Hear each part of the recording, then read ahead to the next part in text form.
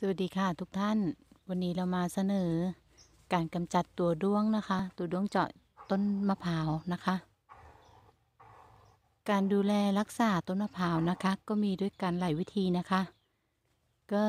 ความจริงต้องเก็บคนให้เลี่ยมให้เลี่ยมนะคะอ่ากองที่สุ่มไว้อย่างเงี้ยค่ะ ก็จะเป็นการเพาะเชื้อของตัวด้วงนะคะ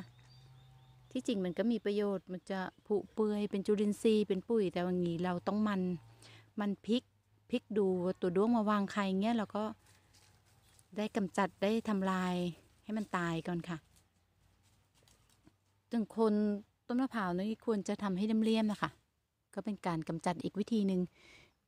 วิธีกำจัดแบบธรรมชาติของเรานะคะ วันนี้จะนำเสนอว่ามันมีอยู่ก็สองวิธีนะคะ วิธีธรรมชาติก็จะมี การใช้ทรายนะคะ ใช้ทรายแล้วก็การใช้เกลือนะคะ กอกยอดของมะพร้าวอ่อนนะคะตำกาบตำคอมะพร้าวอะค่ะ ค่ะเดี๋ยวเราลองลองดูเลยนะคะ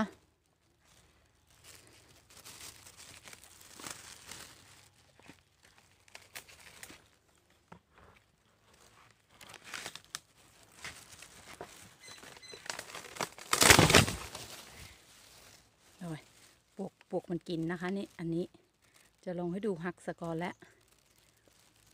ปวกมันกินค่ะ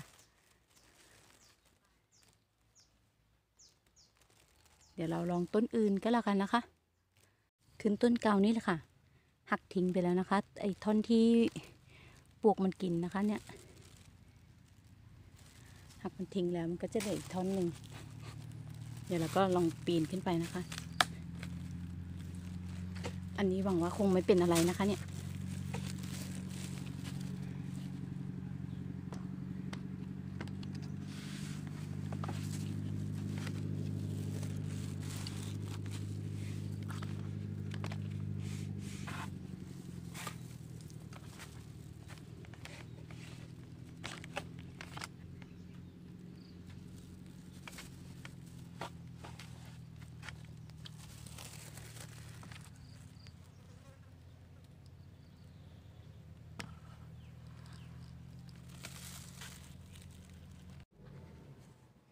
เราก็มาถึงคอต้นมะพร้าวนะคะ เดี๋ยวเราก็จะทำการ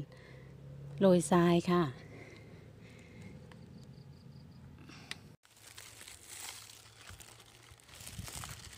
โรยไปรอบๆนะคะ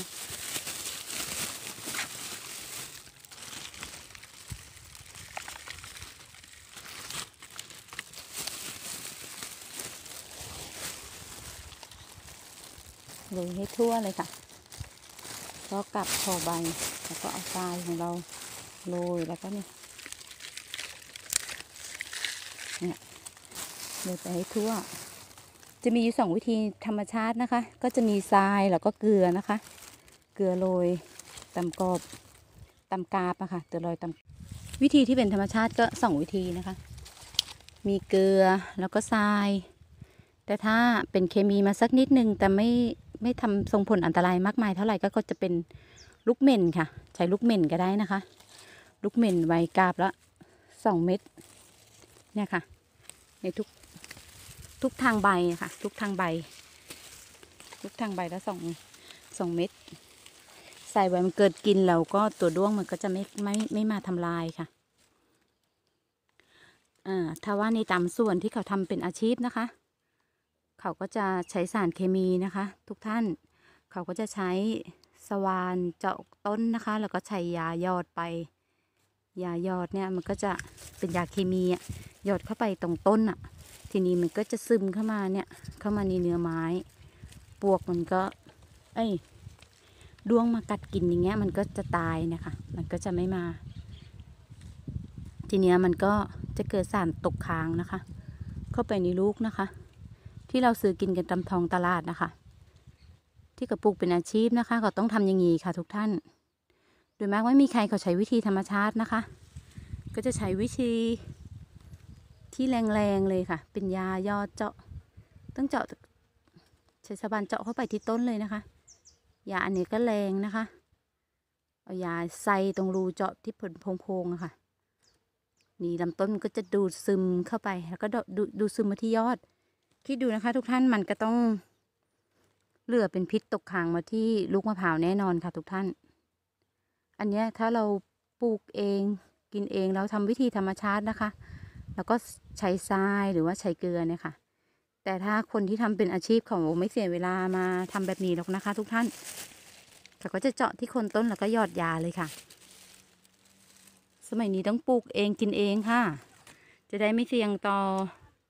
สารพิษตกค้างต่างๆนะคะ เดี๋ยวเรามาลง กันต่อว่าจะเป็นยังไง แต่ก็คงจะถ่ายไม่ถนัดนะคะ ทุกท่าน ก็ไม่สูงมากหรอกค่ะนะคะ